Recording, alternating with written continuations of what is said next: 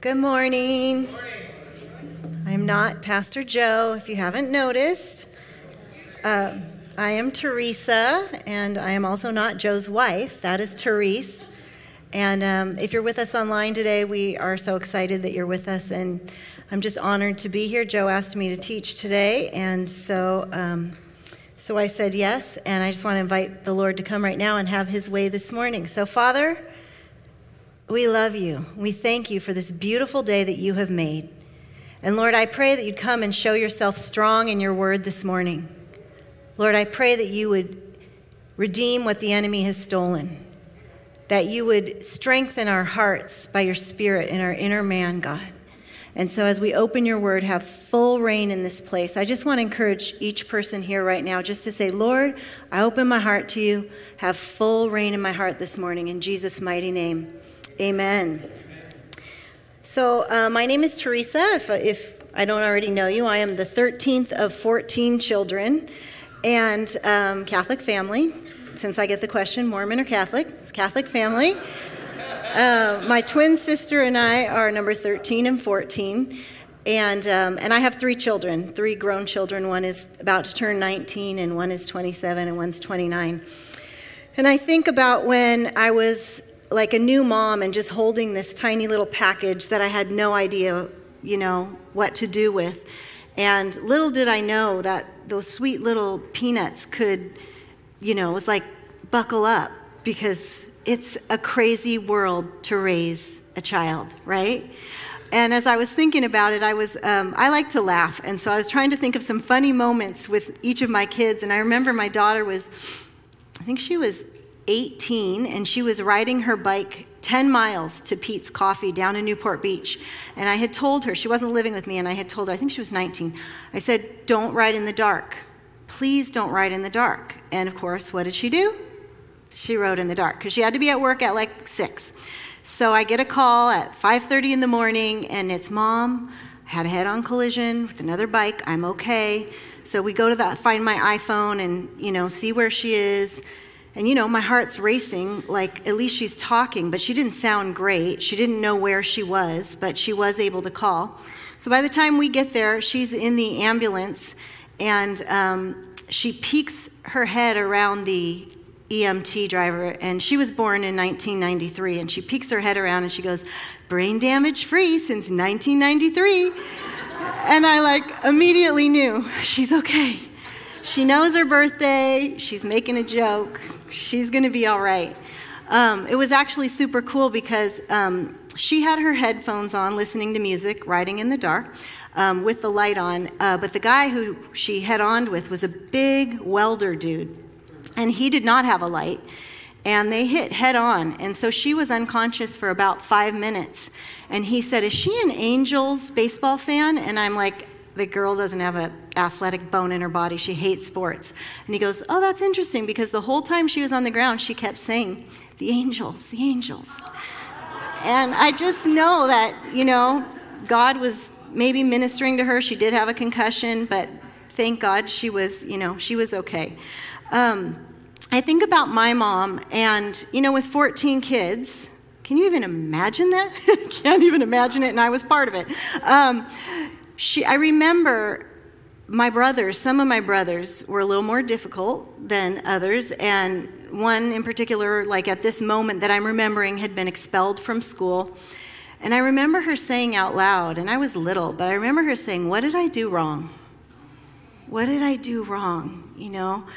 And I think about my heart hurts for her thinking that because there is a lie out there that if you're a good parent or a good mom, your kids will turn out normal and good and make good choices, right?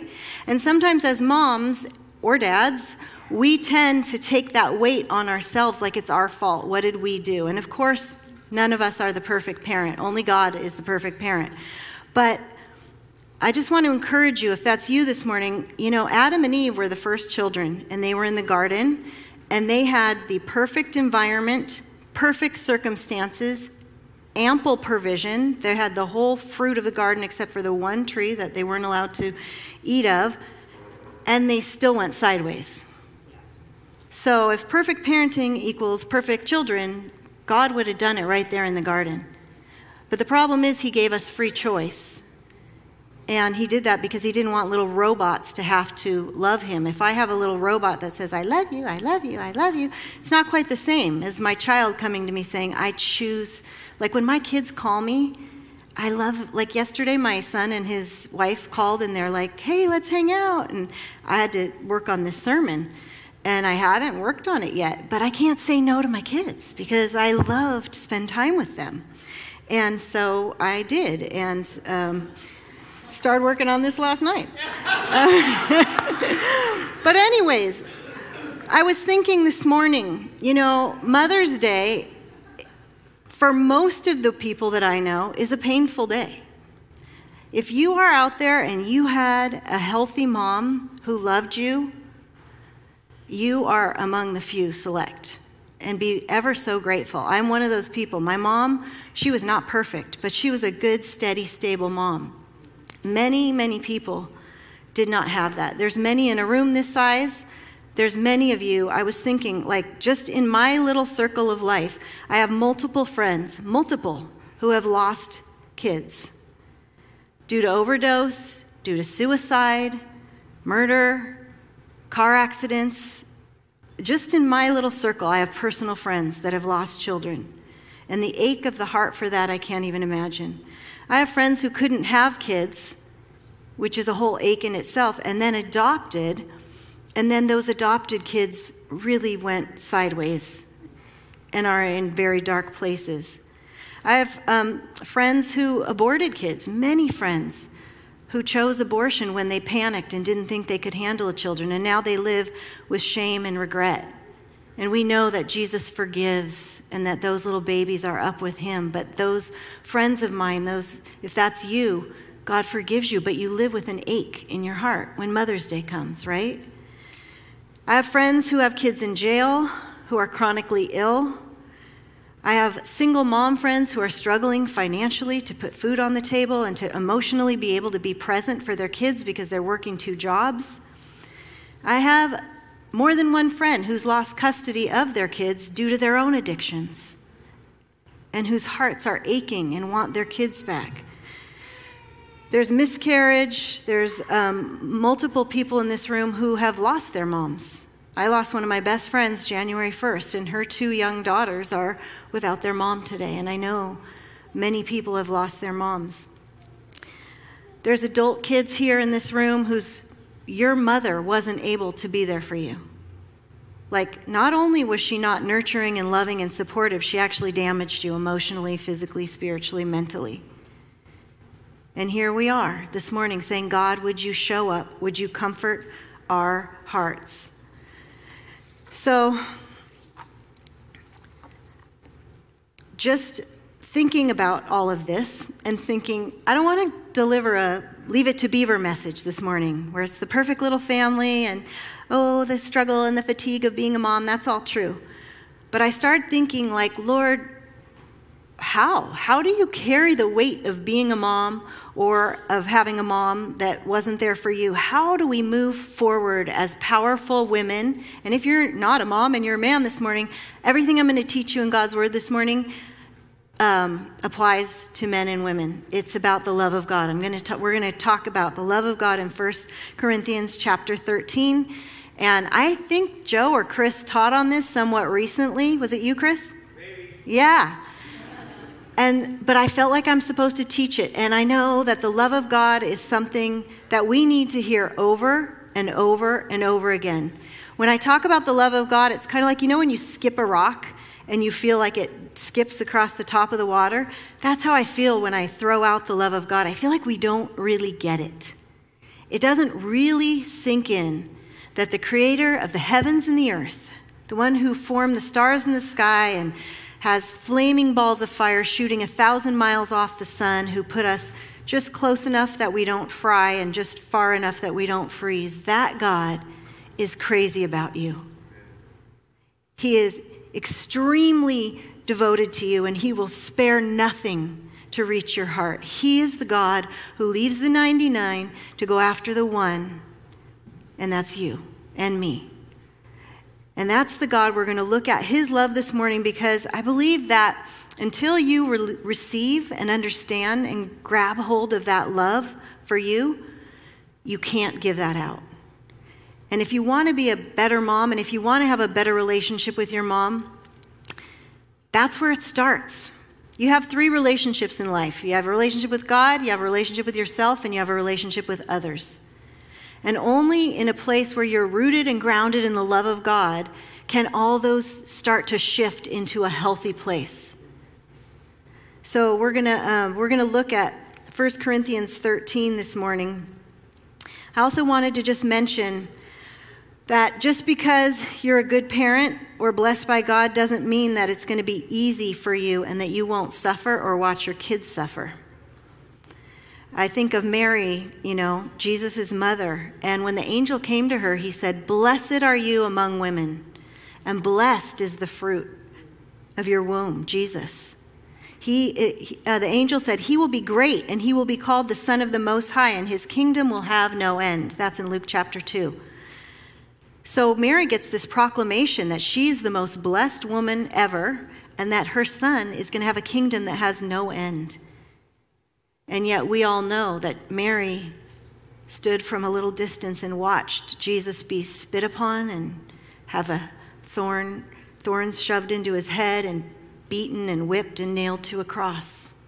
I can't I can't even imagine. Honestly, I really can't imagine uh, watching one of my children go through that.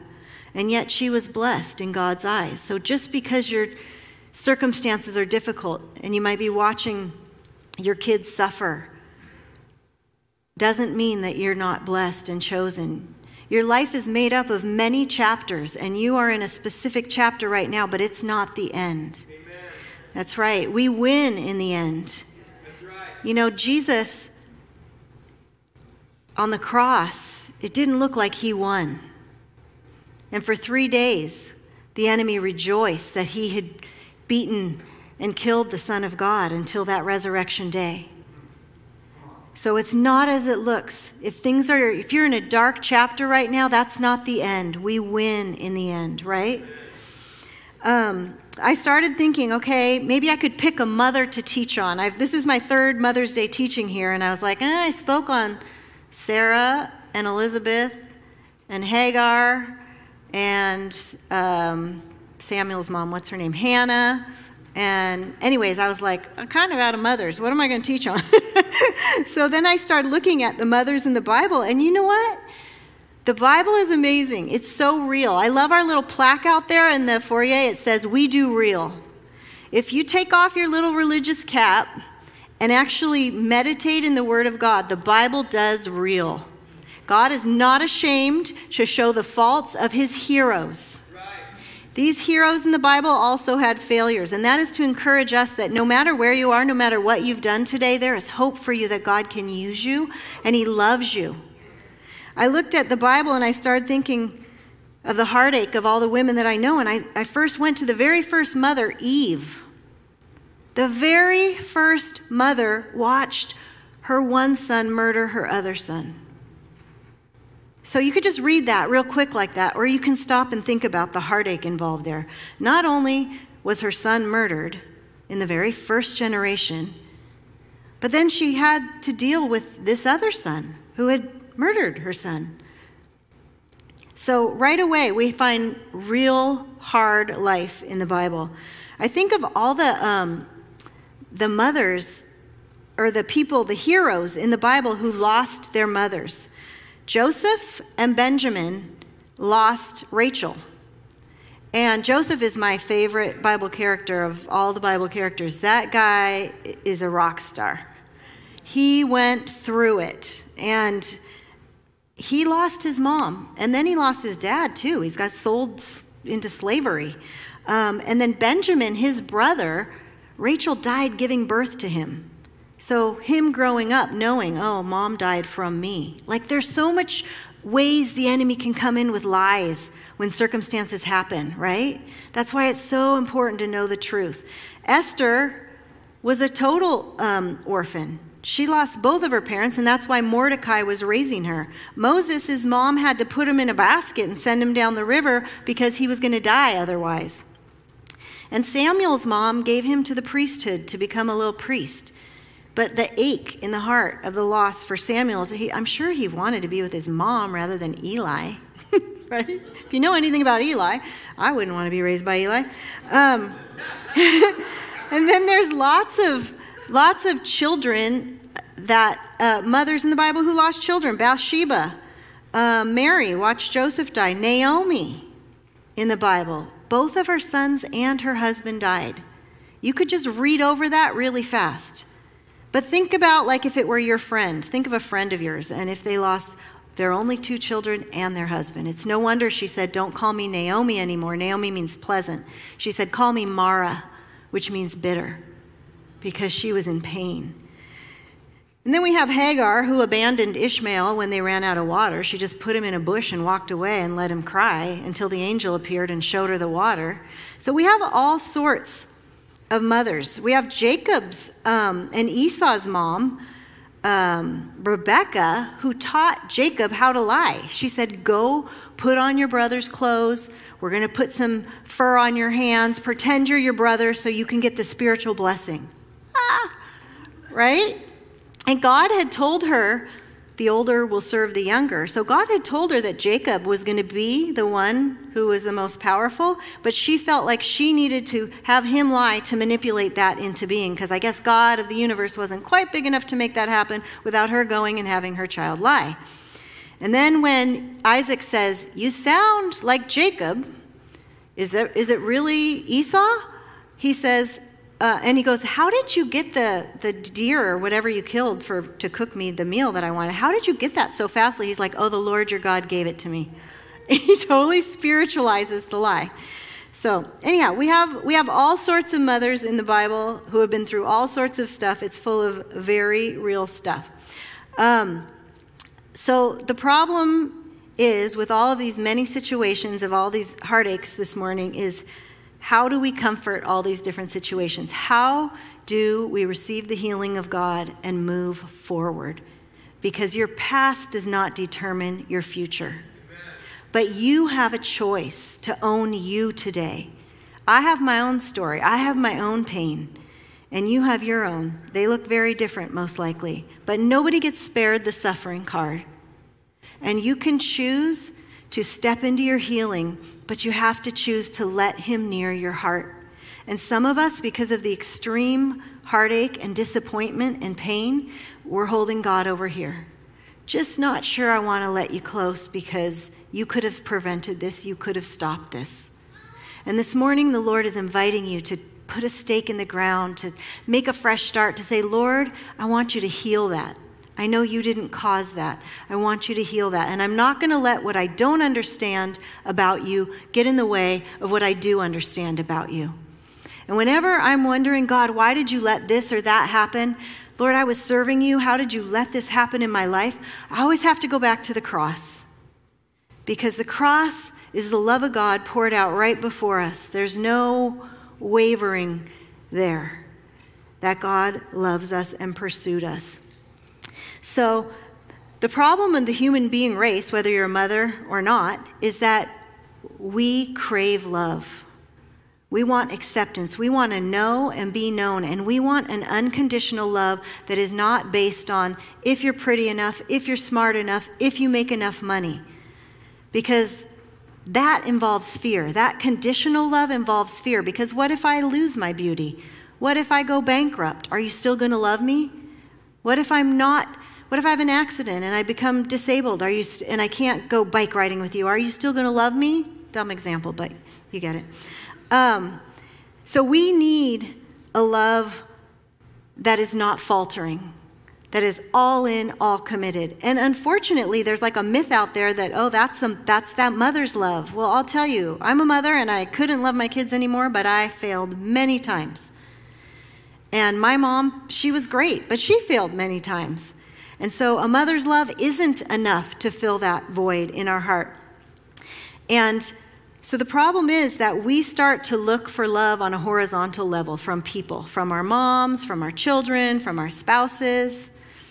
I'm kind of silly if you haven't noticed, and I thought this would be fun. I don't know if it's going to work, but this is what we do. Can you hear this? Sing it, church. Right? That's what we do. I don't know if you could hear that, but I think it was funny. We go looking for love in all the wrong places.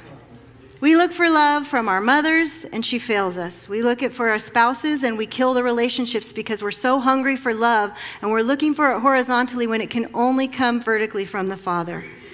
There is no greater need in each human heart than to be loved with an unacceptable love. Um, we look for love horizontally and we get hurt, we get disappointed, and then we end up harming our relationships because we're too needy in those relationships.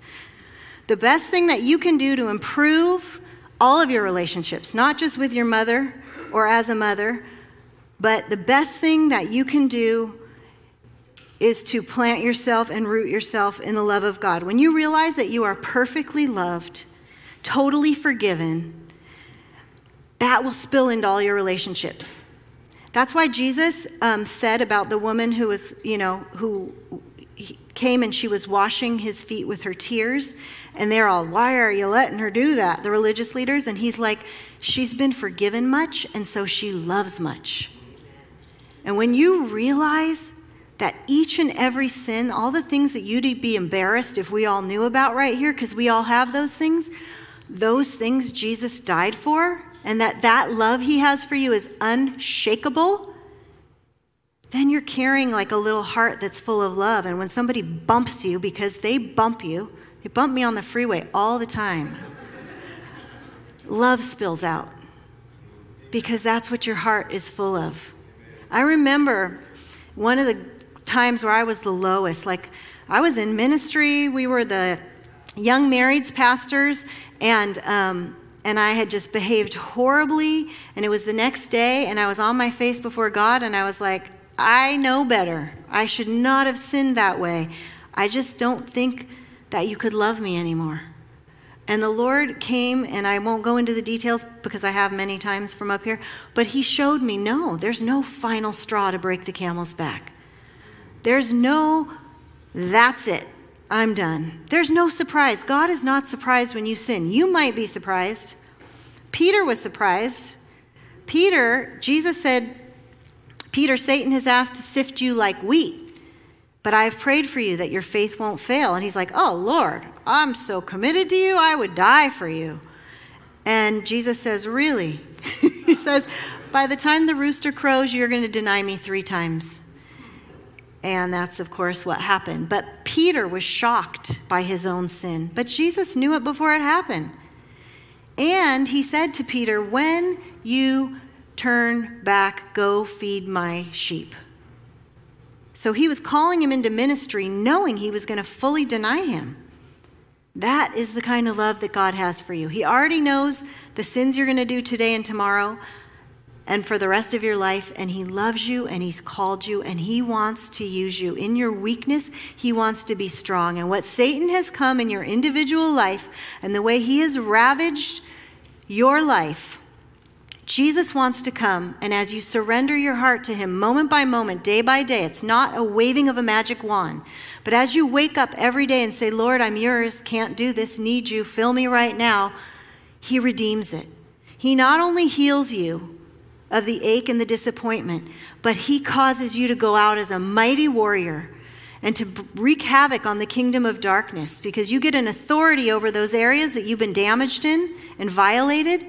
When you get healed up, you're not only healed up, but now you can go and fight for the others who need that healing. You carry a new authority in that area to fight and bring light into darkness. Um, you know, the reason I really wanted, we're going to get into the text right now. The reason why I wanted to really focus on this this morning is because um, in 2 Corinthians 3 18, um, do we have that? Did I? I'm not sure if I gave that to. Yeah. But we all, with unveiled face, beholding as in a mirror the glory of the Lord, are being transformed into the same image from glory to glory, just as from the Lord the Spirit. So, whatever you behold, whatever you gaze upon, whatever you put your focus on, you become. You want to focus on the pain and the bitterness and the hurt of the past? That's going to grow in you. And I'm not saying that you deny it and you pretend it's not there, but what you want to focus on is the glory of the Lord. The glory of the Lord is his, his goodness, his kindness, his mercy, who he is. And as you behold him, it's we see it dimly now. The mirrors back then, when this was written, they weren't like our mirrors where we can see perfectly. They weren't uh, crystal clear. And he was saying, you know, when we look at the Lord right now, we don't see him perfectly. But still, as we behold him, we go from glory to glory. He transforms us and we become more like him every day. Um, so, we're going to talk about love this morning. We're going to dive right in. Um, in 1 John 4, I'm going to go there really quickly. In 1 John 4, 16 through 19. Because we have lots of problems with. Um, words and, and the language in this text. Because I say, like, oh, I love my children. And what I mean by that is, like, I'll take a bullet for them, right? I'll dive in front of a bus for them. But I also say, I love my chocolate, especially my dark chocolate with sea salt and caramel. But it's two different kinds of love, right? And so we get we get um, confused about that. And then we hear like people will say, "Oh, I love I don't know, Jason Momoa, or I love, you know, whatever. right? They mean that in an infatuation way, like, oh, you know. So there's like all different feelings and meanings behind this one word that we say, love. Um, so we're going to look at what the Bible meant when it's talking about love, and we're in 1 John 4 16 through 19. Cool. We have come to know and have believed the love which God has for us. God is love, and the one who abides in love abides in God, and God abides in him. By this, love is perfected with us, so that we may have confidence in the day of judgment, because he, as he is, so also are we in this world. There is no fear in love, but perfect love casts out fear, because fear involves punishment, and the one who fears is not perfected in love. We love because he first loved us. So I just want to point out that we love because he loved us first. Sometimes it's funny how Peter like said, "Oh no, Lord, I would die for you." Like we think that we're more committed to God than he is to us. Au contraire, like 100%. We were doing our own thing and he left the 99 and he came after you. And if you look at your life, He's the hound of heaven. He's been pursuing you, pursuing you, pursuing you. Some of us are more stubborn than others, but He is the one who pursues you. He loved you first. And once you receive that love, then we love back. And it says in verse 16 that God is love. So you want to know what God is, what He's like? He is love. And I want to remind you that in John chapter 1, it says, In the beginning was the Word, and the Word was with God, and the Word was God. And nothing was made without him in the world. And the Word became flesh, and it dwelt among us. And in him we beheld the glory, the only glory of the Father, full of grace and truth. So if you want to know what God's like, look at Jesus. He literally is God in skin. He put on, as Joe calls it, a man suit or a human suit. I can't remember. A what? Earth suit. Earth suit. Yes. He put on an earth suit. So if you want to know what God's heart is like, get in the Word of God. Jesus said you will know the truth, and the truth will set you free. Amen. What truth will set you free?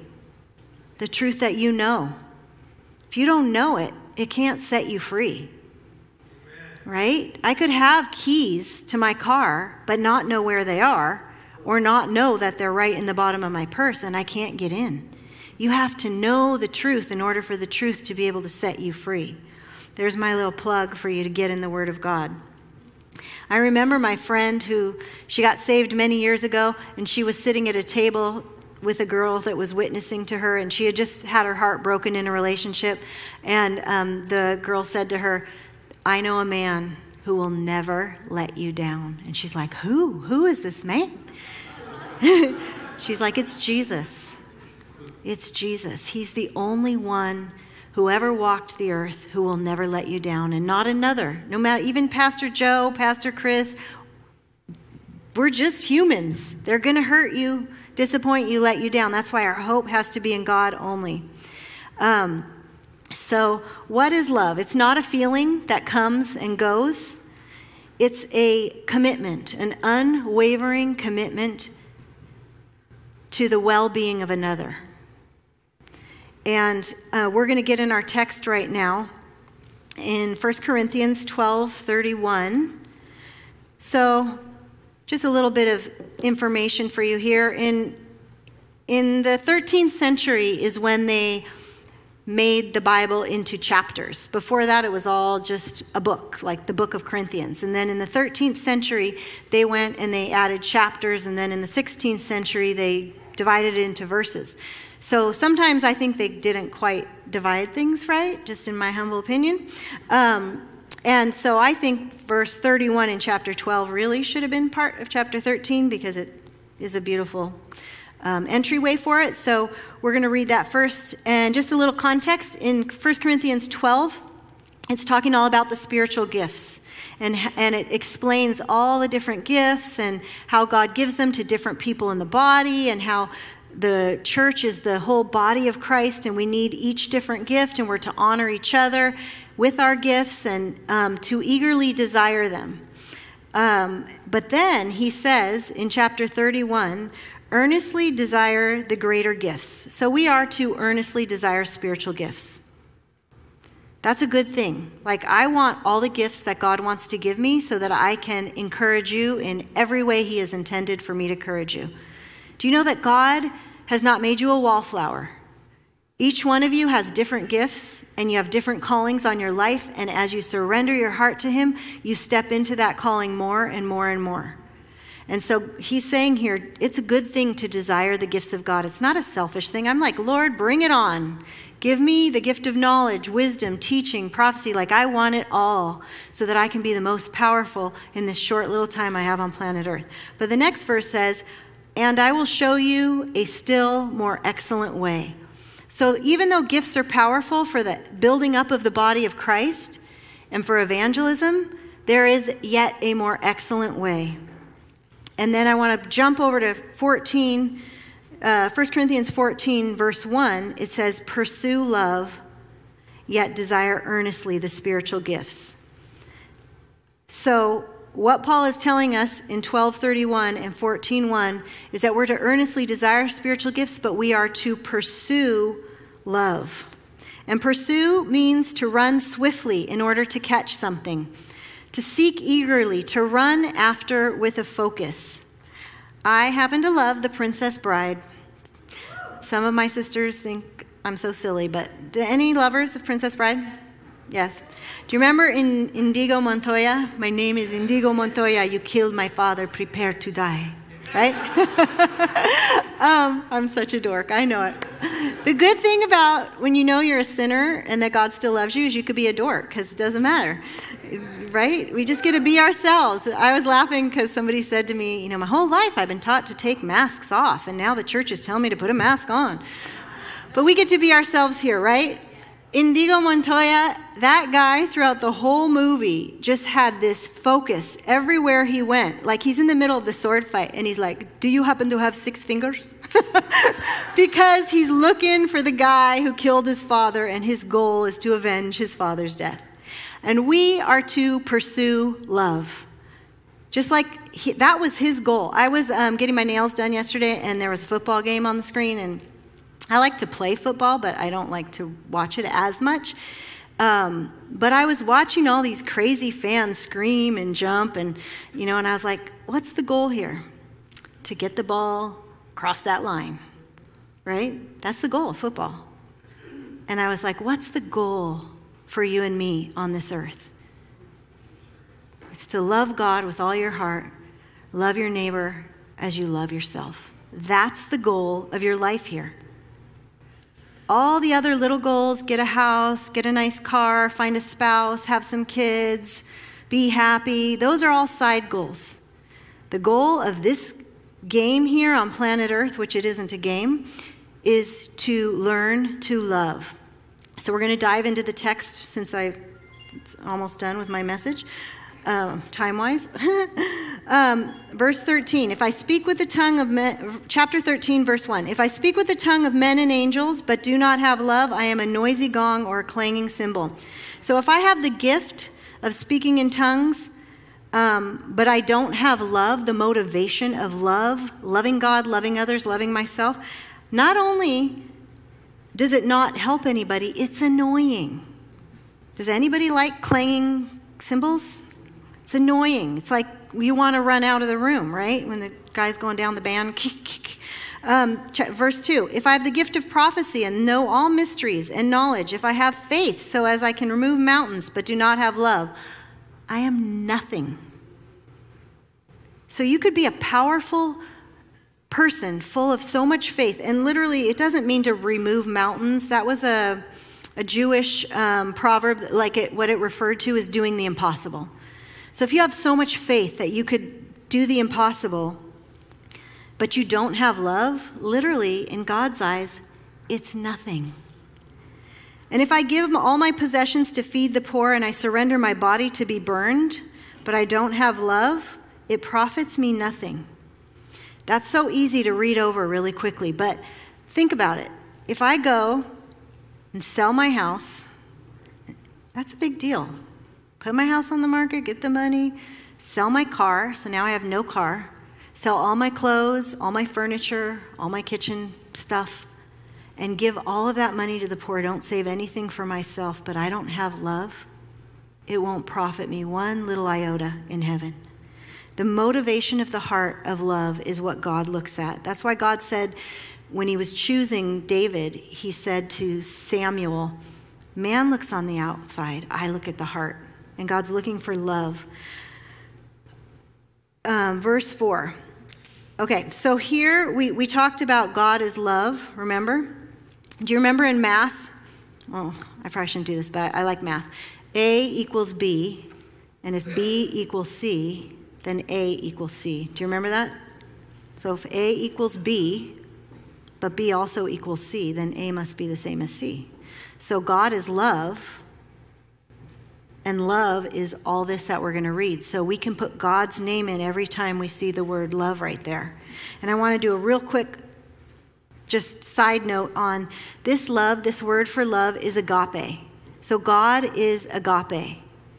And there's three different kinds of loves. Actually, I think there's four in Aramaic, but the main three popular ones was eros, which was a sensual love, a fleshly love. Um, phileo, which was an emotional friendship you know, caring about, affectionate type love. And then there was agape. And some people have taught that agape is the unconditional love of God. That's really not 100% true because like in John 3:16 it says for God so loved the world he gave his only begotten son. That's God so agape the world that he gave his only begotten son, but right down two verses after that it says men loved the darkness. It says men agape the darkness. So it's not necessarily a divine love, it's a 100% given over themselves to. So that's what kind of love agape is it holds nothing back. It's that unconditional love, 100% committed to the well being of another, regardless of what you get back. And that's the kind of love um, that God has for us. So now we're going to get into it. Love is patient. And what that literally means is love suffers long and is kind. Do you know that with you God suffers long? He's not like that termite guy with the hammer behind his back, you know, on the commercial with the little insect. What is it? I don't know. Where anyhow, he's waiting to smash the thing. That's not God. That's not God. He is slow to anger and quick to forgive. He is patient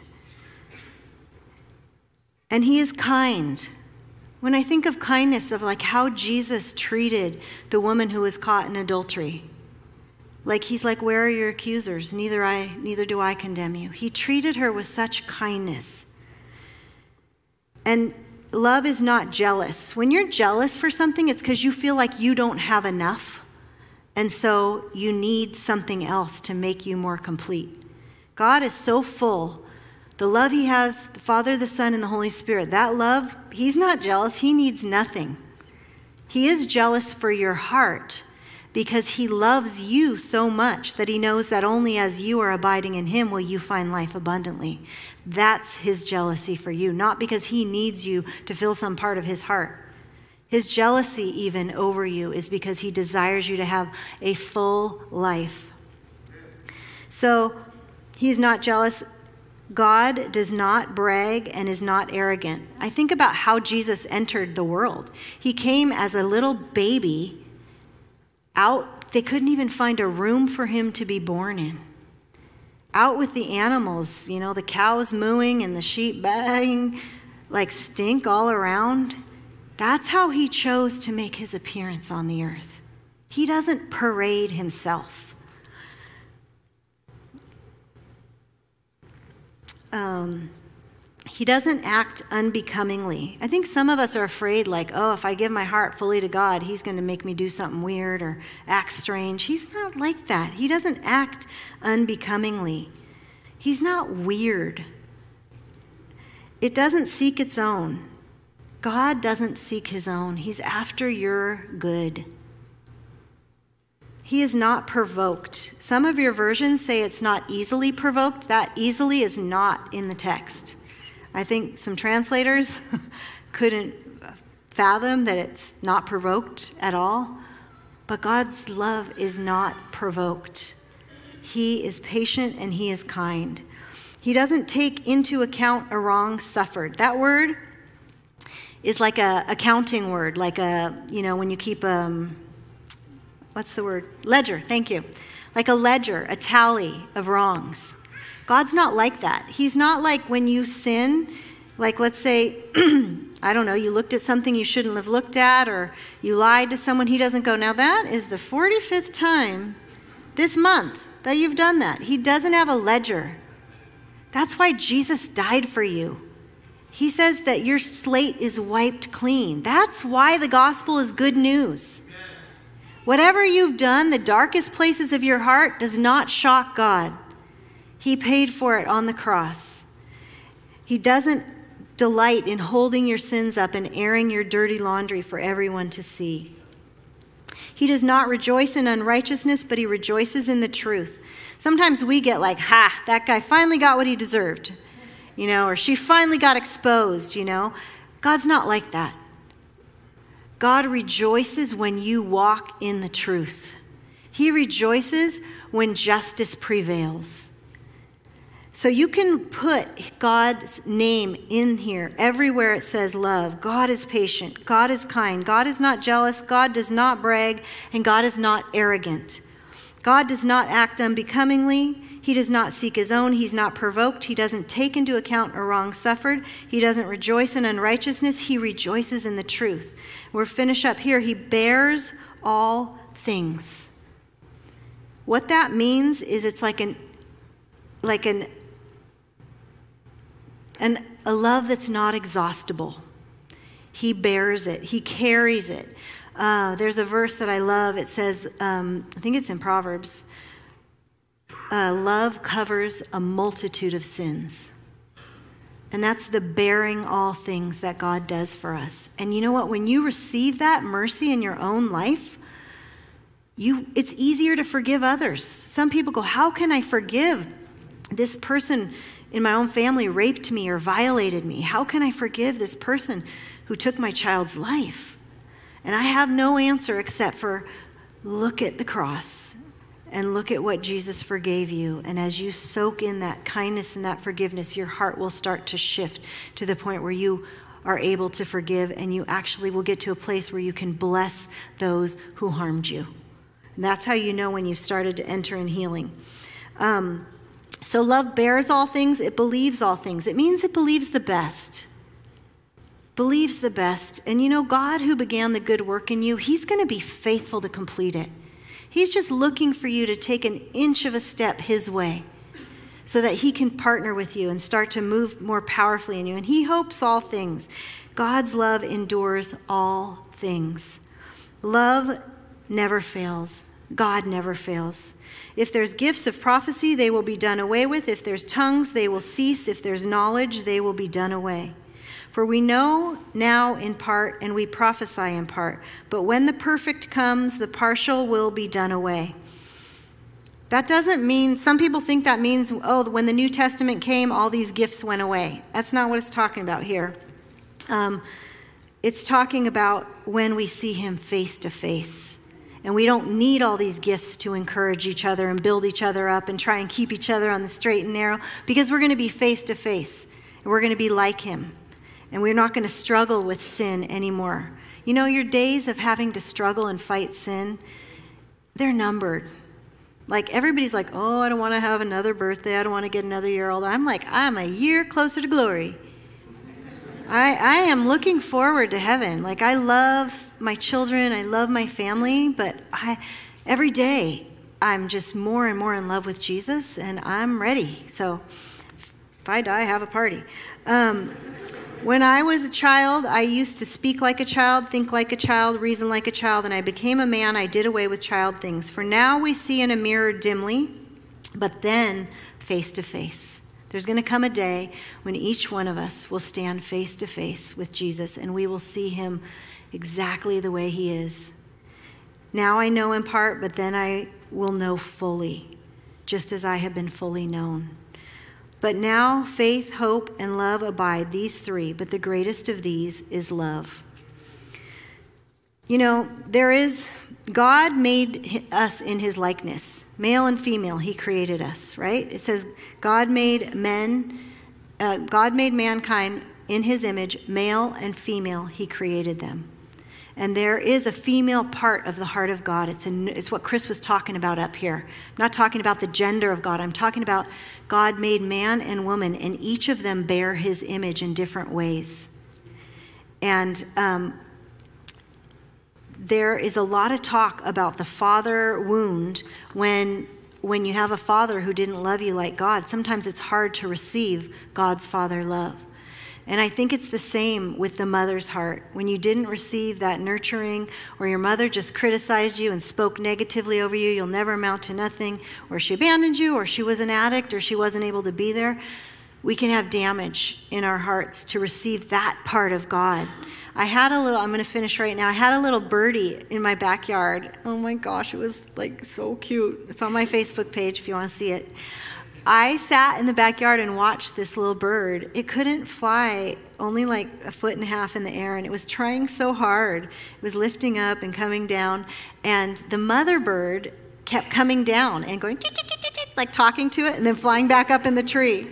And I just sat there for like an hour watching it. And um, finally, it flew across the backyard and landed on my tennis shoe.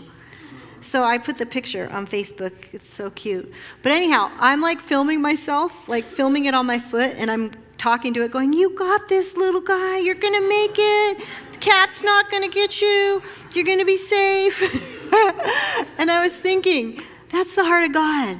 That's the mother side of the heart of God that says, I got you. You have to step into this. Like the mother, she couldn't. She was little herself. She couldn't bear that baby up. He was out of the nest. She couldn't bear him up and take him back up in the tree. But she kept coming down and literally, it was the cutest thing.